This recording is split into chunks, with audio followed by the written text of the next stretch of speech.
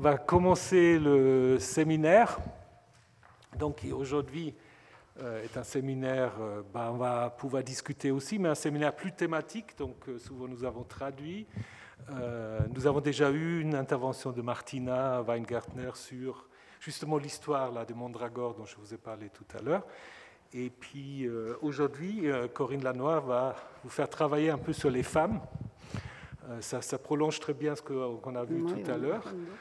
Donc, euh, juste pour vous présenter très brièvement euh, Corinne Lanoir, elle enseigne donc, je crois, à l'Institut protestant, ça s'appelle encore l'Ancien Testament. Oui, voilà, ça s'appelle l'Ancien Testament, à la faculté théologie protestante au boulevard Arago.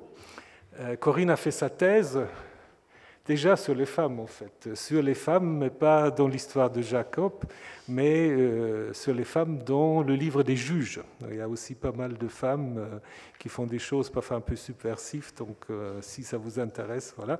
Et puis, elle, elle, vient de publier aussi un petit cahier évangile sur l'histoire de Jacob, justement, donc, que vous pouvez aussi donc, acquérir.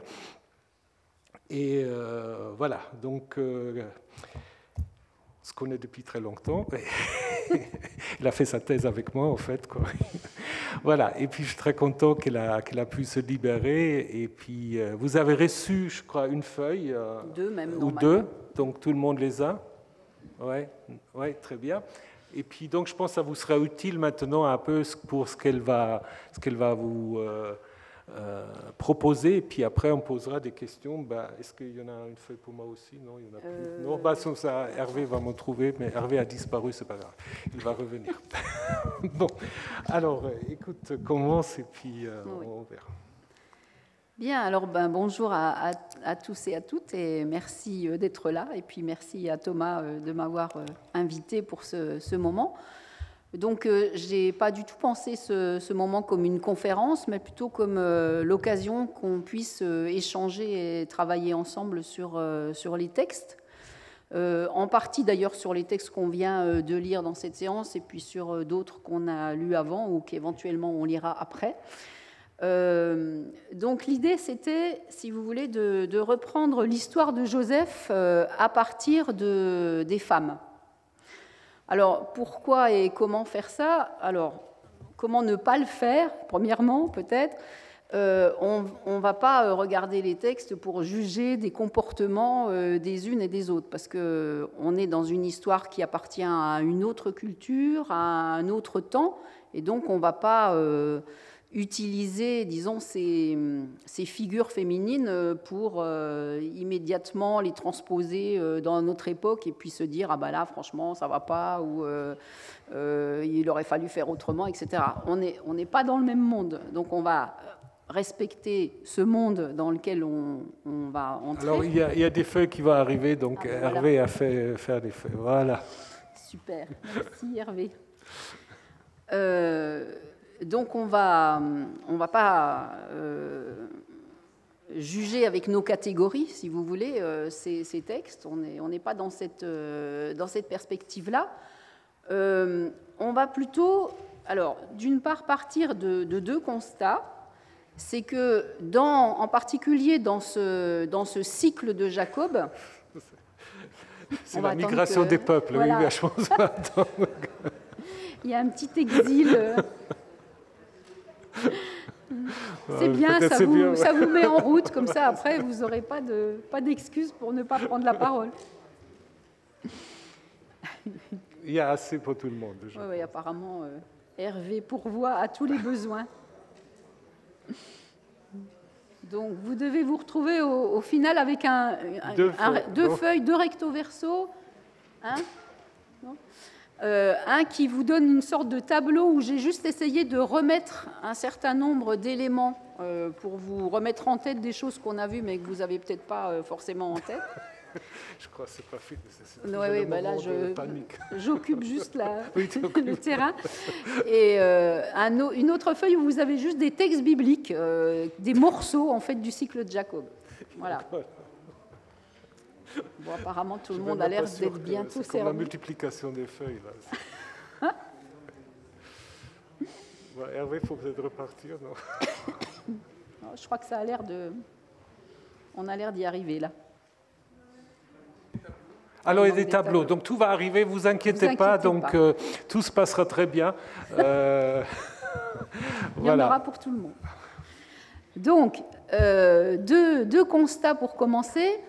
D'une part, dans, dans, le cycle de Jacob, et, et, on pourrait pratiquement l'élargir à l'histoire des patriarches, un texte sur deux a pour héroïne une femme ou en tout cas euh, comme personnage protagoniste. Hein. Or, euh, ben, jusqu'à il n'y a pas très longtemps, on parlait toujours euh, uniquement de l'histoire des patriarches. Hein. Et, du coup, les matriarches étaient un peu, un peu mises de côté. On pourrait donc plutôt parler de, récit des ancêtres. Ça permet d'avoir une façon de parler un peu, plus, un peu plus englobante ou un peu plus neutre, ça dépend comment on regarde. Mais en tout cas, si on, si on donne, enfin si on, voilà, on prend en compte ce fait qu'on a énormément de personnages féminins en fait euh, et qui sont souvent protagonistes, ben voilà, qu'est-ce qu'on va, faire de ça? Et est-ce qu'on peut euh, revisiter les textes en euh, prenant d'abord, enfin en, tenant compte de ce, constat? Et puis la, la deuxième observation, c'est que euh, quand on lit beaucoup d'exégèses de ces textes, de, tous ces messieurs exégètes, parce que pendant le XXe siècle, il y a quand même eu beaucoup plus de messieurs exégètes que de, dames, euh, on, assiste souvent au phénomène euh, suivant, c'est que quand on lit les textes, ces textes patriarcaux, et disons en particulier ici celui de, Jacob, et que c'est des textes où les hommes sont des protagonistes. On va euh, traiter ces textes comme des textes politiques, comme des textes qui vont euh, euh, instaurer des relations entre, entre des clans, entre des tribus, qui vont poser des problèmes de pouvoir, etc. Et puis quand on lit les textes où les femmes sont protagonistes, eh ben, on va parler de lutte mesquine, privée. Euh, de, par exemple, euh, bon, euh, le, texte qu'on a lu aujourd'hui avec la lutte entre, toutes les, entre les femmes pour, les, pour l'engendrement. Hein. on va dire que voilà, c'est le désir d'enfant lié au sexe féminin, etc. Alors que bon, Abraham aussi, il avait envie d'avoir des enfants, mais on n'a jamais lié à son sexe. voilà. Donc il y a, des, façons différentes de lire. Hein. Euh, et donc on pourrait essayer de revenir là-dessus et euh, ben de, faire le pari que euh, quand on a des personnages féminins, on a autant d'enjeux politiques au sens large, hein, évidemment sociaux, anthropologiques, que quand les, protagonistes sont masculins. Donc c'est cette piste, si vous voulez, que j'aimerais suivre aujourd'hui. Et alors on peut aussi faire une autre remarque, c'est que euh, dans ces textes de Jacob, euh, on a des figures qui sont d'un côté des figures très attendues et des représentations très classiques, hein, euh, liées à la maternité, à la sexualité. Bon, vous avez une trame où vous avez Rebecca qui va chercher une femme pour son, fils, euh, la rencontre au bord du puits, euh, la rivalité de Rachel et Léa, les mariages, les enfants. Donc ça, ça suit, si vous voulez, une ligne tout à fait classique. Mais en même temps, à l'intérieur de ça, on a des choses très inattendues, en fait, et des comportements aussi différents, et des bifurcations, des tensions. Et c'est un peu sur ces tensions euh, que j'aimerais euh, mettre l'accent, ces ambiguïtés aussi, euh, qui construisent, je crois, aussi quelque chose dans, le parcours du cycle de Jacob. Voilà. encore une toute petite observation. On passe souvent de la tragédie à quelque chose de beaucoup plus humoristique, en aller et retour. Et ça aussi, je pense que c'est un élément à prendre en compte. Il y a une certaine distance souvent qui est prise à l'intérieur même du texte par, par l'humour, par, enfin, pensez à, cette Rachel assise sur ses téraphimes, là, sur sa selle de chameau. Enfin, on peut aussi le lire comme quelque chose d'assez euh, avec un, quelque chose de, alors humoristique. Bon, on se roule pas par terre euh, de, rire, mais il y, a, y, a, quand même quelque chose qui, qui, prend une certaine distance.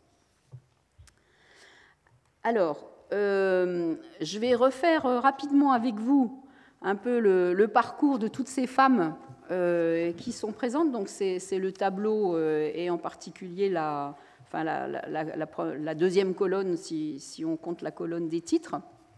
Donc la place des femmes, en regardant aussi un petit peu quels dialogues sont présents ou quels silences, parce que ça aussi c'est c'est une euh, façon bah, de, de, de, de, repérer un certain nombre de choses. Hein. Il y a des choses qui sont dites, puis il y a des choses qui ne sont pas dites, euh, ou des réactions qui ne sont pas données. Et ça peut être important d'en prendre euh, acte. Alors, ça commence, enfin, l'histoire de Jacob commence avec Rebecca. Hein. on ne peut pas euh, ignorer euh, ce personnage. Euh, ah ben voilà, les derniers tableaux qui arrivent, donc ceux qui n'en ont pas encore pourront les avoir. donc Rebecca, qui, on l'a vu, hein, il y a beaucoup de choses qui ont déjà été dites dans le cours, hein, mais là on va essayer de reprendre l'ensemble. Rebecca, qui est destinataire d'une promesse au sanctuaire, ça c'était en Genèse 25, euh, avec cette promesse euh, déjà qui va introduire premier, une, première, euh, une, première, tension où le cadet sera l'aîné en fait. et Rebecca qui va être donc une femme très active, très protagoniste en particulier dans le chapitre 27 où Jacob va voler la bénédiction d'Ésaü avec l'aide de Rebecca, hein, très clairement. Euh, et puis alors, euh, à la fin du chapitre 27, on a euh, cette strate un peu plus tardive qui va poser le problème, qui est un problème sur lequel on va revenir abondamment, celui du, mariage et des mariages mixtes. donc, Rebecca dit que les deux femmes hittites épousées par Ésaü l'insupportent, hein, enfin qu'elle n'est pas d'accord avec ça. Et donc, elle, prépare euh, la sortie de Jacob vers euh, l'autre partie de la famille, donc qui est à Aram. et Jacob va finalement être envoyé par Isaac et béni comme s'il ne s'était rien passé dans le chapitre 27. Hein. donc c'est là qu'on voit bien qu'il y a deux, traditions différentes. Mais la consigne, c'est surtout ne pas prendre une femme cananéenne. Hein. Donc on a, on a ce motif où Jacob doit aller prendre femme dans la maison de Bethuel, euh, le père de Rebecca, en faisant donc l'itinéraire inverse que celui, euh, de celui que Rebecca a fait pour venir euh, épouser Isaac. Et donc on est ici dans le mariage endogamique, hein, c'est-à-dire on se marie à l'intérieur du clan, de la famille. il ne faut pas épouser une fille de Heth, ou des Hittites, ou des gens qui sont là par là, ni une fille du pays, hein, contrairement à ce que Ésaü lui a fait. Hein. Et euh, si vous, avez, si vous reprenez votre, euh, la feuille avec les textes, euh, donc au début du chapitre 28, hein, donc ça commence, bon, il y a Jacob chez son oncle Laban, ce que je viens un peu de vous redire. Et euh, au verset 6 du chapitre 28, euh, vous pouvez lire Ésaü vit qu'Isaac avait béni Jacob et l'avait envoyé à Padan Aram pour y prendre femme. Et qu'en le bénissant, il lui avait donné cet ordre Tu ne prendras pas pour femme une cananéenne. Il vit que Jacob, écoutant son père et sa mère, était parti pour Padan Aram. Bon, comme si, euh, là encore, hein, il s'était rien passé avant.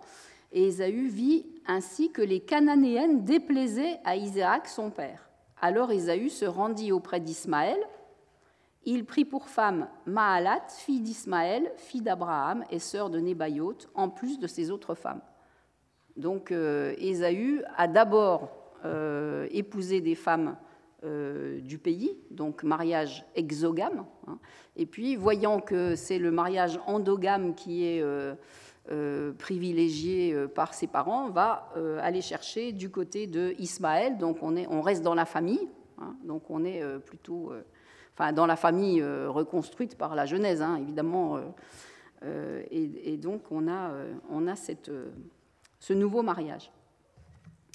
Alors, donc ça, alors on aurait pu même reculer encore, hein, parce que Rebecca, il y a aussi une rencontre au puits euh, pour, euh, pour Rebecca, euh, mais bon voilà, on, va commencer par là.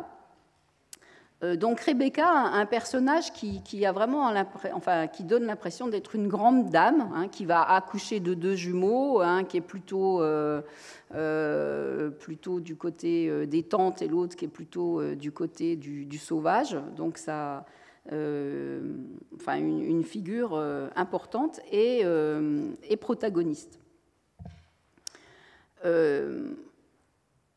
Ensuite, donc, on a la rencontre de Rachel avec ces deux temps où Rachel arrive et puis après il y a un dialogue entre, enfin ce qu'on a vu, je crois que c'était la semaine précédente, hein, le, dialogue de Jacob avec, qui arrive comme étranger et qui va trouver ses, frères.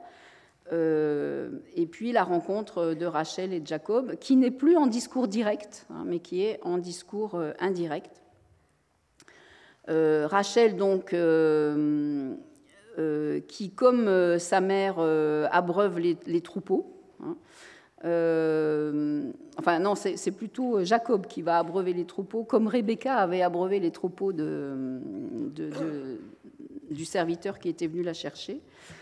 Euh, et avec donc de nouveau ici un double but euh, de Jacob. Il faut d'une part trouver un, asile, en fait, parce que Jacob est un personnage en fuite, hein, et donc il va trouver asile dans la maison du, frère de sa mère, et choisir une femme donc, euh, dans, dans cette même maison. Et le double but euh, répond aussi au, double récit en fait de, Jacob, hein, l'un où on assiste sur euh, la haine d'Ésaü et sa fuite, et l'autre sur la nécessité de partir pour aller chercher une femme. Donc ça, correspond à, ce qu'on avait euh, avant. Rachel et Léa. Alors vous avez donc la brebis et la vache. Hein. Euh, ce qui, quand on le dit, euh, fait toujours un peu sourire, mais euh, on est ici avec des, grandes expressions de la fécondité et de la fertilité. Hein.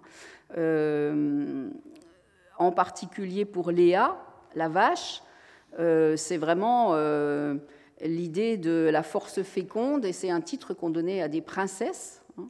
Euh, liées d'ailleurs à la grande, enfin, aux deux grandes figures qui viennent d'Égypte mais qui vont se, répondre largement en Mésopotamie, euh, Bat et Hathor, qui sont euh, deux figures aux oreilles de vache.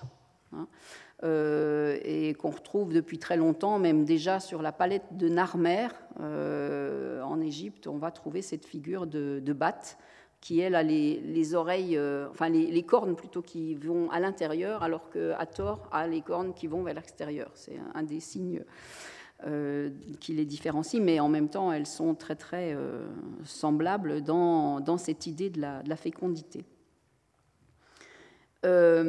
Ensuite, on a donc les mariages avec le dialogue de Jacob et Laban concernant le mariage, mais le silence total euh, des deux femmes, hein, que ce soit Rachel ou, Léa, et euh, l'ajout, comme on l'a vu aussi, de Zilpa et de Bila euh, comme sorte de deux cadeaux de mariage hein, qui sont ajoutés à ce moment-là et qui vont évidemment avoir un rôle important dans, dans la suite. Euh, avec euh, donc la mention de Jacob, serviteur de Laban, que Thomas évoquait tout à l'heure, euh, critiqué dans Osée 12, hein, où on va construire cette figure de Jacob comme une figure négative parce qu'il a accepté d'être serviteur d'un autre pendant des années pour une femme, hein, et pour une femme, effectivement. Euh, les enfants, ensuite, alors tout le texte qu'on a lu tout à l'heure, hein, euh, avec donc euh, les fils de Léa, les deux fils que Bilha va donner en quelque sorte à, Rachel, puis de nouveau deux fils de Léa par Zilpa, et encore deux fils de Léa, et la fille qui arrive un peu comme un supplément. Hein. on a vu qu'il n'y a pas d'explication pour son nom, par exemple, hein, et on n'a pas du tout le même accueil, disons, pour, pour Dina, et on ne la trouve pas tout le temps dans les listes généalogiques d'ailleurs. Hein. souvent, il n'y a que les, que les, garçons. les mandragores, et enfin, le premier fils de Rachel. Alors, ce qu'on peut repérer ici, c'est que donc on a cette dualité entre, euh, comme on avait euh, d'ailleurs euh, Rebecca qui aimait Jacob et Isaac qui aimait Ésaü, on retrouve ici une, autre dualité où on nous dit que Léa est haïe mais féconde hein, par Jacob et Rachel aimée mais stérile. Donc cette espèce de, couple où l'une a ce que l'autre n'a pas. Hein, et ça, on va le retrouver plusieurs fois dans les récits patriarcaux. et, mais en même temps, elles vont construire la maison d'Israël. Et euh, ce sont elles qui vont en général donner les noms euh, aux enfants.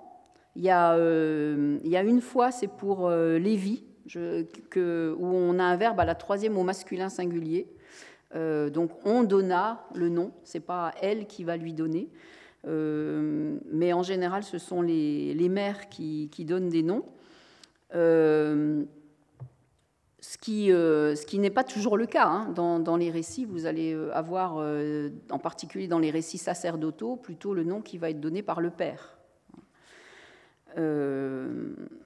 et puis, donc, cette idée de rivalité, complicité, sur laquelle on, pourra revenir aussi, parce que à la fois, donc, elles, sont, elles ont été complètement silencieuses dans l'épisode précédent, alors que là, elles sont complètement protagonistes. Euh, c'est elles-mêmes qui décident en fait euh, de la sexualité euh, du mari, puisque c'est elle qui décide avec qui il va coucher à quel moment. et voilà, donc ici on, a quelque chose qui, encore une fois, va venir ben, contrarier l'image passive. Vous voyez qu'on passe de la passivité au protagonisme et, qu'on est sans arrêt en train de passer de l'un à l'autre. Alors pourquoi on a aussi cette, euh, cette, ambiguïté, cette, cette, tension entre passivité et ambiguïté On pourra y revenir. Euh, après, donc, on a la fuite euh, de Jacob de chez Laban avec ce fameux, cette fameuse adresse à ces femmes qu'on a lue tout à l'heure. Hein où les femmes sont effectivement euh, prises en sorte de témoins, hein, comme dans un tribunal, et où elles finissent par dire, euh, voilà, euh, fais ce que tu as à faire finalement. Hein, et, donc, là encore, une, pour la première fois, pratiquement, un moment où il y a un dialogue entre Jacob et ses femmes, hein, parce qu'elles ont jusqu'à présent, il n'y a pas grand monde qui se soit euh, parlé, ou, des femmes, les femmes entre elles, ou les femmes avec, euh, Jacob. Euh, ensuite, donc, le, moment où Laban rattrape Jacob avec ses reproches Qu'as-tu fait Tu m'as trompé, tu, as emmené mes filles comme captives de guerre. ce qu'as-tu fait peut aussi renvoyer à, un autre épisode qu'on retrouve en filigrane assez souvent euh, dans, tous ces textes, qui est le, ce qu'on appelle l'épisode de la femme sœur. Euh, si vous vous souvenez, euh, ça commence avec Abraham, qui va faire passer sa femme pour sa sœur. en arrivant chez les Égyptiens pour épargner sa vie. Hein. Il arrive à la frontière et il dit à, à Sarah, voilà, je sais que tu es belle. Et là, dans les 80 ans passés, à ce moment-là, mais euh, dis que tu es ma sœur, hein, et euh, pour, que, pour que le pharaon me fasse du bien à moi. Hein. Donc cet, cet, épisode va se reproduire une deuxième fois avec Abimelech, et ensuite une troisième fois, toujours avec Abimelech, mais pour ce qui concerne Isaac. Et donc dans ces trois épisodes, bon, qui sont traités un peu différemment, euh, chez Abimelech, euh, on a cette même euh, remarque que m'as-tu fait hein, quand il découvre en fait que ben, la femme qu'il a prise chez lui n'est pas, la sœur, mais la, femme de, ben, d'une part d'abord d'Abraham, puis d'Isaac. Alors ensuite, On a la fameuse tricherie de Rachel avec le vol des, des alors j'ai remis ici euh, différentes, euh, suppositions. Hein. Est-ce que c'est pour, s'approprier les objets parce qu'ils ont une fonction divinatoire et qui peuvent donc être une bénédiction ou un, un moyen de guérison? Est-ce que c'est pour souiller des objets divins paternels? Est-ce que c'est pour emporter la légitimité du clan avec elle hein, qui pourrait donner une certaine identité du clan? Alors juste pour les emporter ou pour aussi affirmer la suprématie de son clan, voire contre, euh, contre Léa. C'est aussi des, des, hypothèses qui sont faites. Euh, et puis, euh, voilà, je vous ai remis tous les, toutes les citations des théraphimes et euh, on mentionne aussi euh, l'épisode euh, que citait Thomas tout à l'heure de Michal, qui va utiliser ça dans un, autre type de tromperie pour le faire passer pour David. L'alliance avec la démilimitation, alors cette alliance entre Jacob et Laban, elle est double. D'une part, elle va euh, établir la protection des femmes. Hein, c'est Laban qui dit si tu affliges mes fils, si tu prends d'autres femmes en plus de mes fils, n'est pas un homme que nous aurons à faire. Prends garde, c'est Dieu qui sera témoin entre toi et moi. Et puis en même temps, la séparation des territoires, puisque ça va permettre euh, de, distinguer et de ne plus revenir d'ailleurs, à partir de là, dans la partie euh, araméenne de la famille. Hein. Donc on a une, vraie séparation là qui va, euh, s'opérer, puisque plus aucun fils, euh, à partir de ce moment-là, n'ira chercher une femme dans euh, cette partie de la maison maternelle. alors ensuite, on a, j'ai ajouté encore quelques épisodes qui terminent le cycle de Jacob. C'est l'épisode de Dinah au chapitre 34 euh, alors là encore, euh, on, y reviendra dans une autre euh, séance, mais on peut lire ce texte de plusieurs façons. Hein. Alors ça commence par Dina qui sort pour voir ses copines au puits hein, et qui va être vue par le, le chef des habitants du pays, qui va être enlevé, violé peut-être. L'affaire n'est pas très claire. Hein puis demander en mariage, parce qu'on a ici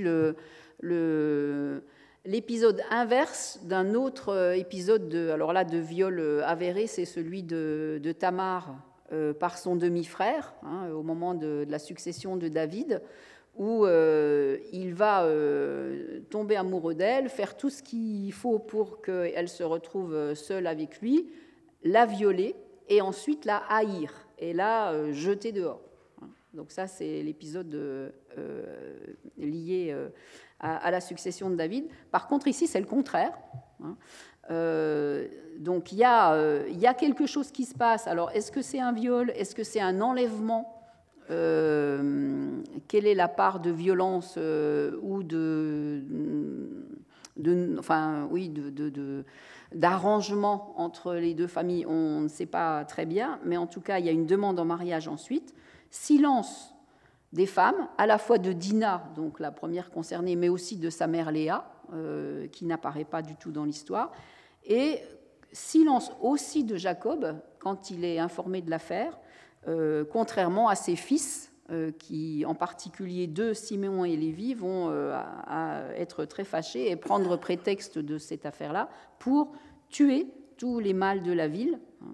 Ils vont euh, imposer, ils vont demander euh, que pour que le mariage se fasse, tous les hommes se fassent circoncire et profiter du moment où ils sont en train de se remettre de leur circoncision pour euh, attaquer la ville et évidemment ne pas rencontrer beaucoup de résistance et donc tuer tout le monde. Donc, euh, en tout cas, s'il y a une histoire euh, peut-être euh, ancienne de résolution à l'amiable d'une histoire qui commence entre, ces deux jeunes gens, ou s'il y a un viol, de toute façon, on va insister dans la, version finale sur ce viol comme souillure qui va demander une purification. Et puis, alors il y a un tout petit épisode, mais euh, tout à fait euh, alors non, il y a d'abord la deuxième naissance des fils de Rachel, donc qui va donner naissance à Benjamin, mais mourir en accouchant. Donc elle qui voulait tellement des enfants et qui a dit à Jacob, donne-moi des enfants sinon je meurs, elle va mourir en ayant des enfants en fait et avec la double nomination, puisque là, Rachel va d'abord l'appeler Ben Oni, hein, euh, et euh, Jacob va le rebaptiser euh, Benjamin. Donc on a double nomination de la mère puis du père. Et le dernier épisode, c'est un petit épisode, mais qui n'est pas, enfin, qui va avoir son importance en l'absence de Jacob, qui dans, dans, cet élément-là euh, est appelé Israël, euh, Ruben va coucher avec Bila, qui n'est plus appelée la servante, mais cette fois-ci la pilgesh, c'est-à-dire la concubine euh, de Jacob. Et là encore, Jacob l'apprend et ne dit rien, Bila non plus d'ailleurs. Hein. Euh, mais euh, cet épisode euh, va, être mentionné ensuite en Genèse 49, au moment où on a toute la série des bénédictions et, des, malédictions des enfants de Jacob. Et donc, à cause de cela, Ruben, qui est donc le fils premier-né, hein, puisque c'est le premier-né de Léa, ne va pas pouvoir prétendre à son droit, enfin à sa suprématie de premier-né. De même que Simon et, euh, Siméon et Lévi, qui sont ceux qui agissent euh, au moment de, l'affaire de Dina, pour cette raison, vont aussi être écartés. Et du coup, comme par hasard, qui reste en lice pour devenir euh, le fils privilégié bah, C'est le numéro 4. Et le numéro 4, c'est Judas. Et donc, c'est comme ça qu'on arrive à construire là aussi la suprématie de Judas dans, dans la liste en, ayant, éliminé les trois premiers qui, euh, qui gênaient un peu le passage. Voilà.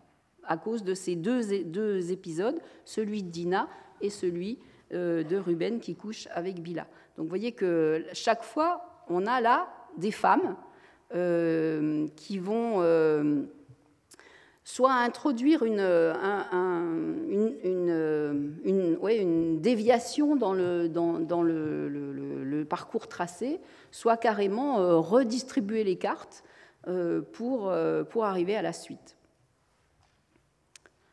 Alors ça, c'est un premier parcours comme ça, un peu à, grands pas. Est-ce que vous avez des remarques ou des questions déjà concernant cet ensemble?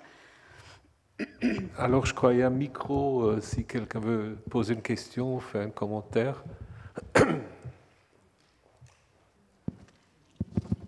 Il faut bien parler près. Je, ah, reprends le nom des femmes. Oui. Donc, en ce qui concerne Rachel et Léa, vous avez donné la signification. En ce qui concerne Dina, vous avez dit on ne sait pas. Et qu'en est-il de. Rebecca et de Bila? La signification du prénom alors, euh, Dina, euh, on ne nous le dit pas, mais c'est toujours le verbe din, euh, qui est toujours le, féminin de Dan. Quoi, Oui, c'est la même chose que pour le. On a vu la tribu de Dan. Hein, c'est construit sur la, racine de juger. Rebecca, Rivka, c'est un animal aussi. C'est quoi Rebecca? Je ne sais plus. C'est aussi euh, une. Euh, c'est pas la brebis, elle, c'est la chèvre, peut-être, je ne sais plus. on dit. Euh. Ouais.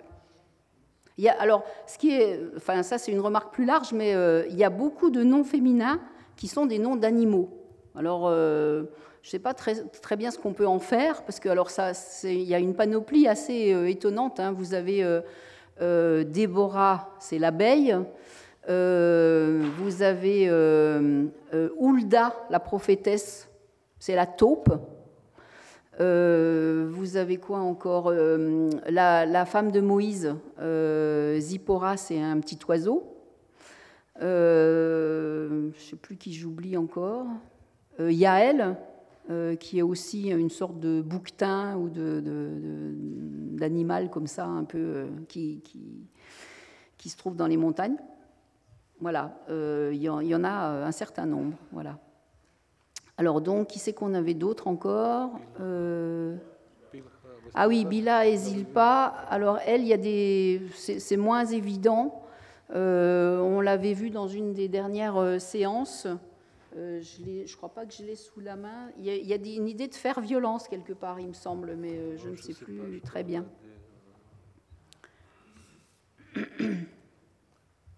Mais il n'y a pas de jeu avec, euh, non, apparemment, il n'y a rien euh, qui, qui, qui influe. Enfin, oui, avec le texte, quoi. Il n'y a, pas de,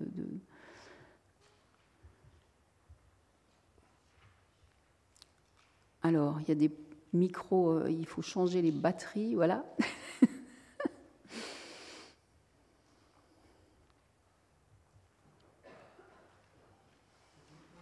J'aurais peut-être une petite question sur la mort de Rachel Est-ce que tu ferais un lien avec l'épisode des Théraphim où, euh, le, voleur est censé euh, mourir? Mourir Est-ce que tu dirais que c'est une explication euh, de, la mort de Rachel? Moi, je, alors, bon, on peut, hein, de toute façon. le, problème, c'est que ces théraphim, ils, sont, ils sont quand même très isolés dans l'affaire, dans parce qu'on n'en parlera plus jamais de ces théraphim de Rachel. Il y a le chapitre 35 où on nous dit qu'on va enterrer un certain nombre d'idoles, etc., mais on ne mentionne pas spécifiquement ces téraphimes-là, donc on ne sait pas s'ils sont enterrés avec les autres ou pas. C'est possible, mais on n'en sait rien. Et puis après, voilà, ils n'ont plus aucun, aucun, aucune incidence dans le texte. Par contre, je pense que le fait que quand elle, elle réclame à, Jacob des enfants et qu'elle lui dit donne-moi des fils, sinon je meurs, Là, je pense qu'il y a beaucoup plus une espèce de... Ben voilà, ça fait deux, deux bornes du récit. Hein, euh, celui où elle, elle, demande à être enceinte euh, en disant sinon je vais mourir, et puis le fait qu'elle meurt en, accouchant. Euh, je pense qu'il y a plus de liens avec ça qu'avec les thérapies. Et donc aussi avec la fécondité, etc. Il y, a quelqu'un, je sais pas. il y avait quelqu'un là-haut, oui. Oui, vous avez, mentionné la prescription des mariages exogamiques. Est-ce que c'est une, quelque chose qui est spécifique à ces épisodes ou est-ce que c'est une tradition ancienne et qu'on retrouve dans d'autres cultures de la région? Parce qu'après tout, ça, ça, ne va pas du tout de soi. Il y a beaucoup de cultures où, inversement, les, les jeunes gens sont sommés de quitter la tribu pour aller chercher femme ailleurs, notamment en liaison avec le tabou de l'inceste. Oui, tout à fait.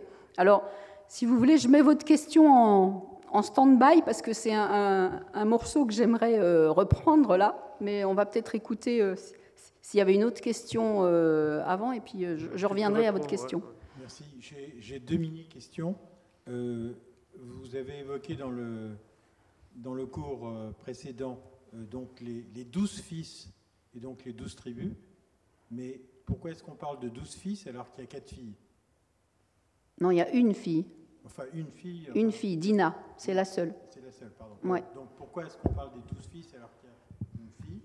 La deuxième petite question, c'est que euh, Jacob revient chez son père, Isaac, et il doit revenir, euh, d'après les calculs, je ne sais pas, 15 ans ou 20 ans après. Ouais. Minimum. Or, au moment de la bénédiction, Isaac est quasiment mourant. Il est très vieux et quasiment mourant. bon, ça. non, mais vas-y, vas-y si tu veux. Non, alors pour les douze fils et Dina, je pense, on l'a vu tout à l'heure, euh, le problème de Dina, je crois, on l'a un peu créé pour le besoin de Genèse 34, en mm. fait. Parce qu'elle disparaît après. Euh, bon, elle, alors elle, elle va être, euh, enfin, on va tuer son son amoureux là ou son violeur, enfin on, peut, le lire de différentes façons. Et puis elle, euh, elle disparaît totalement. On n'en entend plus jamais parler. Il y a des traditions rabbiniques qui, la ah font aller un peu n'importe où et puis euh, devenir la femme d'au moins deux, trois différents personnages. Mm. Mais dans la Bible, en fait, euh, voilà, il y a, une lacune là. donc ça, ça c'est sûr. Donc en fait, je pense à l'origine, ce texte Genèse 29-30, il s'intéresse aux douze tribus. Et puis, euh, avec Genèse 34, on avait cette histoire. Donc, on a inséré Dina, mais on était très peu inspiré, parce que, comme je vous ai dit, on n'a même pas pensé à lui donner une étymologie, alors qu'on aura pu le faire euh, très, très, très facilement. Alors, l'âge, l'âge d'Isaac, évidemment, ça dépend un peu quelle, voilà, quelle version vous prenez? je pense en effet que Genèse 27 euh, présuppose un Isaac qui est sur le seuil de sa mort, mais dans la version sacerdotale, en fait, c'est elle qui donne tous les âges des patriarches et très peu des matriarches, parfois, mais pas beaucoup. Euh, donc là, cet épisode, en fait, euh, n'y figure pas. Donc du coup, le problème se pose comme, quand on combine la version sacerdotale avec euh, la version non sacerdotale. Vous avez le même problème en Genèse 12, parce que si vous prenez euh, l'histoire dont Corinne a fait allusion, Sarah chez le Pharaon, euh, elle est très belle, très appétissante. Elle, a au moins 80 ans, au moins, euh, au moins. Donc, on peut toujours attractif, mais je pense que ce n'était pas l'idée euh, à l'origine dans cette histoire. Donc, je pense que certaines difficultés que nous avons maintenant viennent aussi du fait que nous avons en fait une combinaison des différentes versions de, cette histoire. Mm. Et d'ailleurs, si vous regardez à la fin du chapitre 35, donc après la mort de Rachel, donc on nous dit Jacob arriva euh, sans transition, hein, on nous fait toute la liste de nouveau des, fils. Et puis Jacob arriva auprès de son père Isaac à Mamré, euh, voilà, qui est à Hébron, où, Abraham et Isaac avaient immigré. Donc on est, on est bien au retour à la case départ. et tout de suite, vous avez le verset suivant La durée de la vie d'Isaac fut de 180 ans. Donc quand même, vous voyez, ça lui laisse le temps de voir venir il expira, il mourut, hein, et fut réuni à ses ancêtres. Donc immédiatement, on va le faire mourir. Et, à quoi ça va servir de le faire mourir? Ça va servir au fait que Ésaü et Jacob, ensemble, vont l'enterrer. Hein, et que donc on va euh, sceller cette euh, réconciliation aussi euh, avec, avec cet ensevelissement. Euh... Je voulais reprendre la question des mariages. Oui, alors les mariages. Alors, c'est un des. Si vous voulez, il y aurait, euh, à mon avis, au moins trois points sur lesquels on peut, on peut euh, euh, voir comment cette importance des femmes au niveau politique, hein, comme je le disais au début, est, est présente. C'est la question des mariages, la question de la fertilité. Euh, et la question des généalogies. Vous voyez que en fait, tout ça est un espèce de, enfin, ça peut se tricoter ensemble. Euh, alors, sur les mariages euh, endogamiques, exogamiques, effectivement, on a les deux possibilités. Hein. Dans, dans, les civilisations méditerranéennes, on est plus sur des questions donc à la fois patrilinéaires et endogamiques, hein, c'est-à-dire qu'on va avoir une généalogie par le père et euh, un mariage dans le clan. Euh, et donc euh, ici, on a cette... Alors déjà, au début, hein, ce, que je vous, ce que je vous relisais, il s'agit de ne pas prendre une femme cananéenne. Et pour ne pas prendre une femme cananéenne, on va aller chercher du côté de Haran ou, un peu moins loin, enfin selon où on situe cette, cette, localisation de cette partie de la famille. Euh, et là, alors il faut qu'on croise ça avec euh, les questions euh, historiques. Hein. Qu'est-ce qui va se passer au moment du retour d'exil hein, Donc, une fois que toute cette histoire est, enfin, est en train d'être écrite, au retour d'exil, on a cette question de savoir est-ce que les exilés, ceux qui sont partis donc à Babylone, hein, et qui, pourrait être euh, représenté par cette partie de la famille qu'on doit aller rechercher euh, loin de l'autre côté euh, du, fleuve. Hein.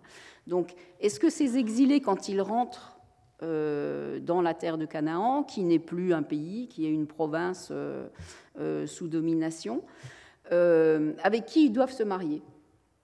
Alors, est-ce qu'ils doivent se marier avec des gens comme eux, c'est-à-dire des exilés ou bien est-ce qu'ils vont se marier avec euh, ce qu'ils vont appeler de façon euh, assez euh, péjorative les gens du pays, qui sont en fait bah, ceux qui ne sont pas partis en exil, hein, qui ne sont pas des étrangers, mais qui sont ceux qui ne sont pas partis en exil.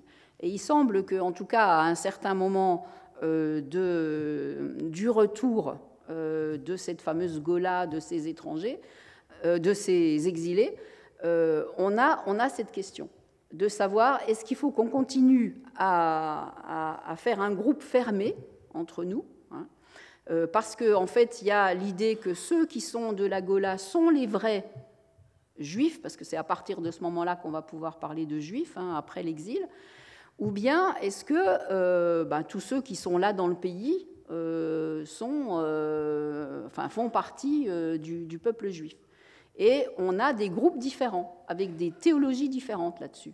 Vous avez un groupe qui représenterait euh, le groupe le plus fermé, qui est euh, ceux qui sont derrière Esdras et Néhémie, par exemple, qui, eux, vont dire euh, pas question de se marier avec des femmes étrangères. Mais quand on dit femmes étrangères, en fait, ça veut dire des femmes du pays. Il faut garder nos, relations avec les, femmes qui sont les femmes de notre groupe d'exilés. Elles seules ne sont pas étrangères, si vous voulez. Donc, la, question pour, euh, pour Jacob d'aller chercher euh, une femme là-bas, on peut la relire aussi euh, dans cette optique-là, mais c'est alors il, faut le lire sur le, long terme parce que on a dit ces femmes comme Rebecca, comme Rachel, elles sont présentées dans certains, dans certains textes comme très protagonistes. Les textes qui les présentent comme très protagonistes sont les textes qui viennent du, Nord. Hein il y a euh, du côté euh, des traditions du Nord euh, une grande importance de ces femmes.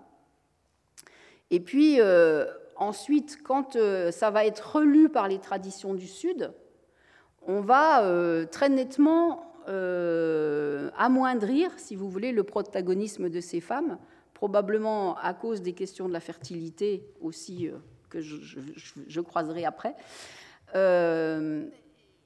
Et puis, dans un troisième temps, quand on est euh, dans ce débat après, euh, enfin post-exilique, pour savoir est-ce qu'on se marie entre nous ou est-ce que, enfin, quelle, taille on va donner à notre communauté et qui on va faire entrer dedans ou pas, on va euh, reprendre ces figures-là, mais comme des figures endogames.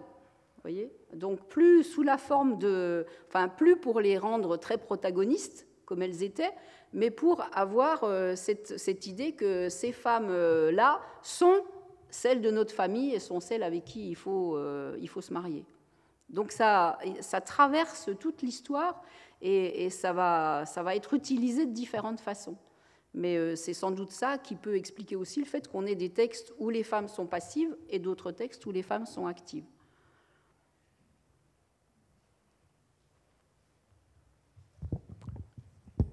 Très bien. D'autres questions, d'autres remarques? Oui, il y a quelqu'un au fond.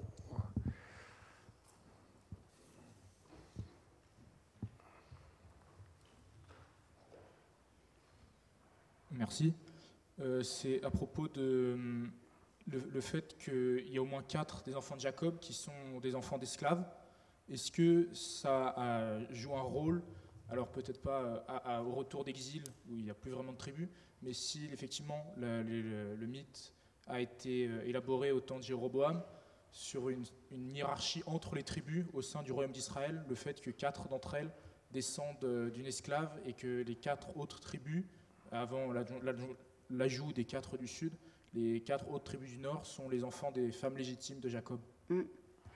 Alors là aussi, si vous voulez, je répondrai en tension entre deux, euh, visions. Hein.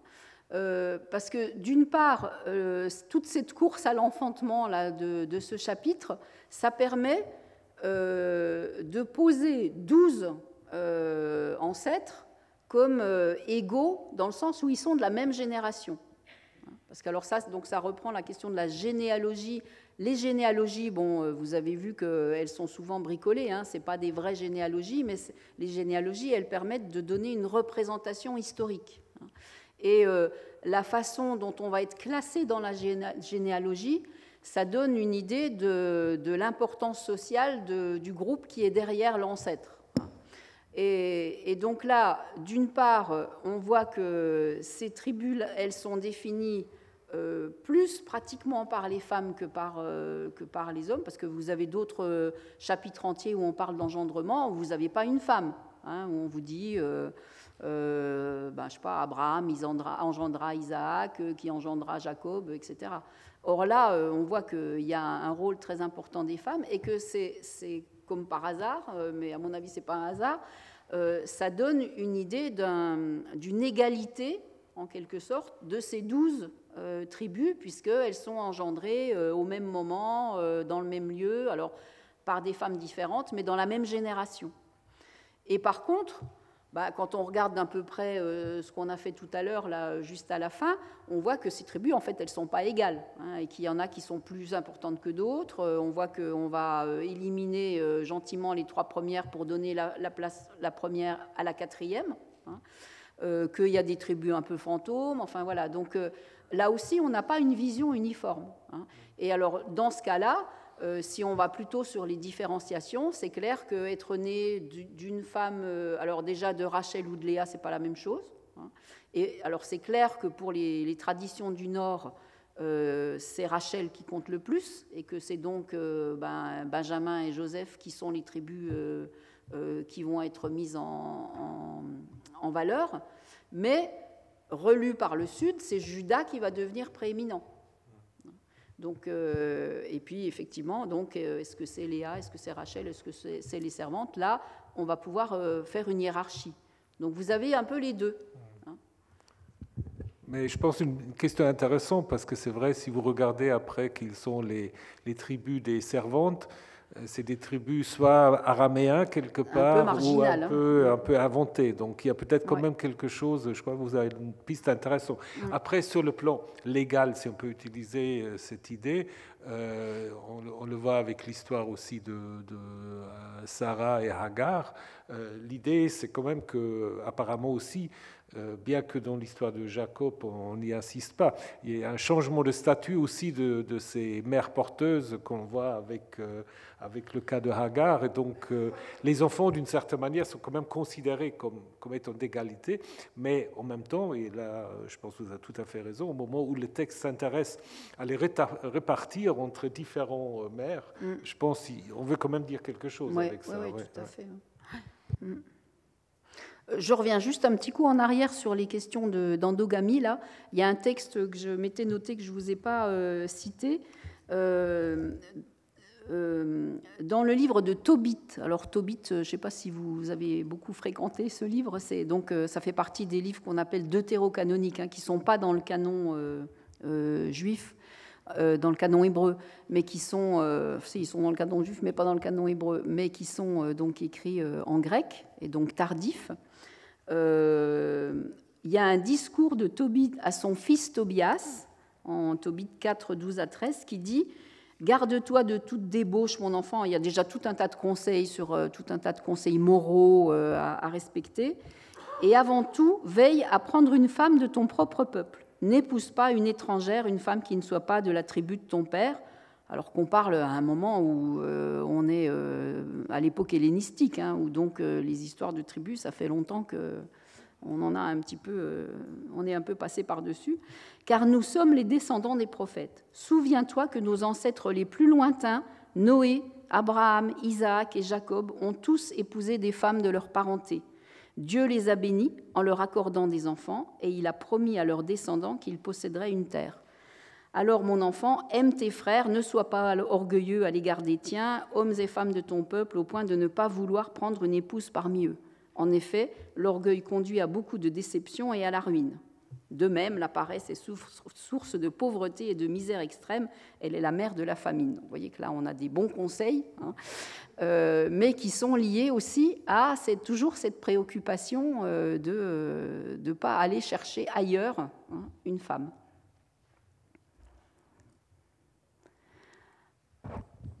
Merci. On peut encore prendre une ou deux questions, si vous en avez.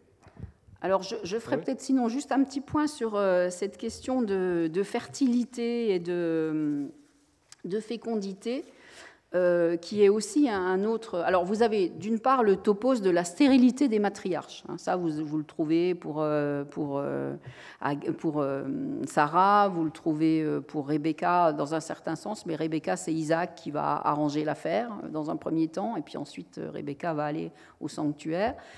vous l'avez pour Rachel, enfin, et on peut continuer comme ça sur un certain nombre. D'autre part, donc on, va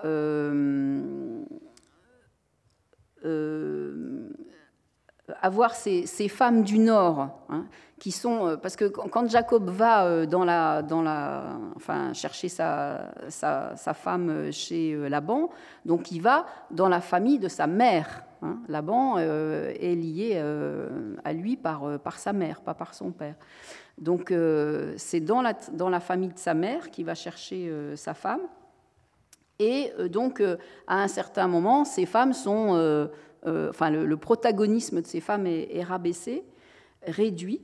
Et euh, on, pourrait euh, faire l'hypothèse ici que pourquoi on réduit le pouvoir de ces femmes? Parce que justement, elles sont à l'image de, de de Hathor, de Bat, de ces, de ces déesses féminines de la fécondité, qui sont des déesses extrêmement fortes et protagonistes, et que donc, on, enfin, dans l'idée euh, euh, des traditions du Sud qui sont euh, assez influencées aussi par, la théologie deutéronomiste, où on ne veut pas de toutes ces, divinités et on veut surtout se séparer de toutes ces pratiques-là, on va réduire le protagonisme des femmes parce que parce que c'est trop proche en fait de ces, de ces figures divines de la fertilité.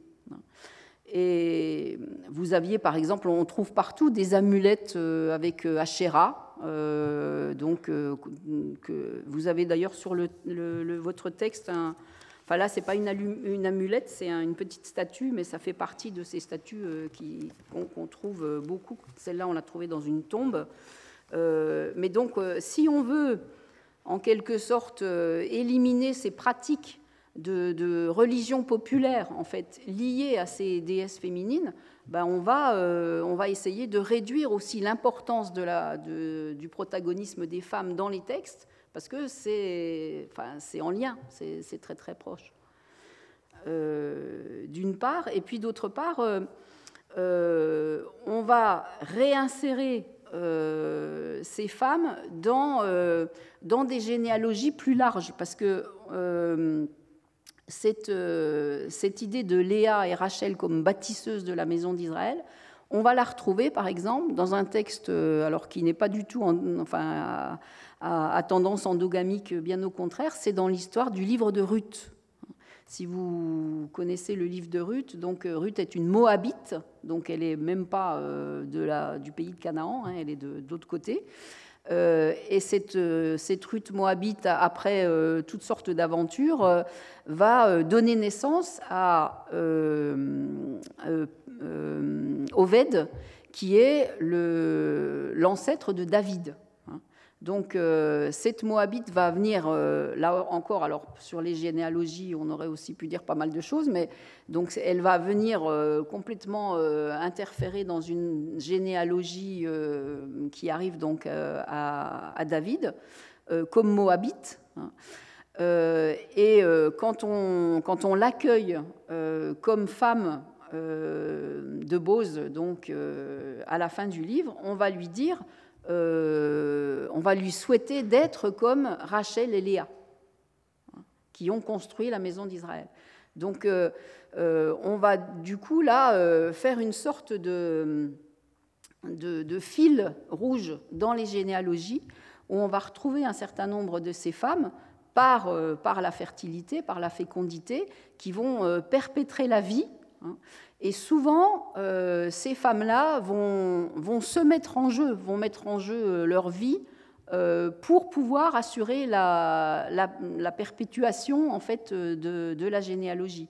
Et bon, il faut aussi se souvenir que dans, ces textes, il n'existe absolument pas de croyance en la résurrection ou en un monde futur, hein, et que la seule façon de se projeter dans le futur, c'est la généalogie. Et outre le fait que, bah voilà, euh, s'il n'y a plus d'enfants dans un clan, euh, il n'y a plus de clan. Euh, donc, on est à la fois dans des questions de survie, mais aussi de, projection dans le futur. Et c'est, il y a beaucoup de ces femmes-là hein, qu'on va retrouver comme bâtisseuses justement de, cette suite, de cette suite d'engendrement au risque, enfin, en prenant des risques extrêmement forts. Et ça va arriver très loin, puisque on, va arriver jusque dans la généalogie de Jésus dans, euh, chez Matthieu, hein, où vous allez trouver euh, quatre femmes avant Marie, dont Ruth, et euh, une autre femme qui est liée d'ailleurs aussi à ces, à ces récits patriarcaux, qui est Tamar. Mais alors l'autre Tamar, pas celle dont je vous ai parlé tout à l'heure, qui se fait violer par, un des, par un de ses frères mais euh, Tamar de Genèse 38, qui est euh, donc euh, une femme cananéenne, qui va avoir un, premier mari, donc qui, qui, épouse un fils de Judas, donc le fameux Judas qui arrive en premier là, au bout de tant d'aventures. Et cette Tamar-là, elle va donc épouser Er, premier fils de Judas. Ce Er va mourir sans laisser d'enfant. Elle va épouser son frère, selon la loi du Lévira, Onan, qui va mourir aussi. Et à ce moment-là, Judas euh, lui dit, ben écoute, euh, enfin il lui dit pas, mais il pense, euh, tu m'en as déjà tué deux, je vais pas te donner le troisième. Hein. Et donc il la renvoie chez elle.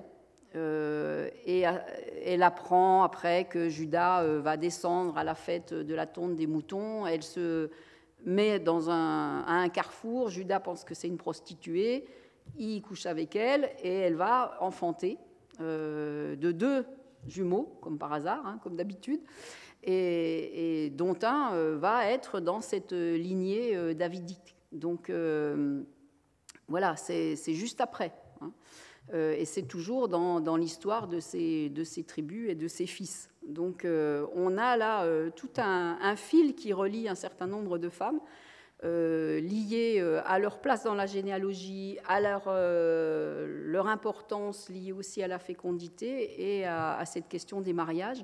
Et tout ça se, se, croise et se tisse fortement, mais vous voyez que ça, ça dessine un, enfin une, une, vision historique et politique aussi, autant que, que les patriarches. Donc ça vaut la peine de s'y plonger, euh, même si parfois on se perd un peu dans les ramifications et dans les, différents personnages.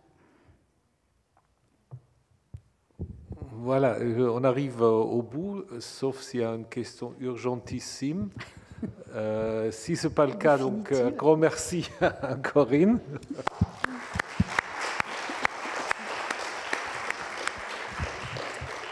Et en fait, d'une certaine manière, dans le séminaire la semaine prochaine, nous allons poursuivre parce bah que euh, Corinne vous en a déjà parlé, la question de la stérilité, qui curieusement dans le prochain ancien est toujours pensée du côté de la femme. Ah Donc il n'y a, jamais l'idée qu'un être euh, masculin puisse être stérile. Bon, bah, c'est notre histoire. Donc, euh, mais la semaine prochaine, nous allons un peu sortir de Jacob, mais bon, avec la stérilité, on y reste quand même. Euh, va nous parler notamment de l'histoire de Anne, qui est une autre ah, femme importante.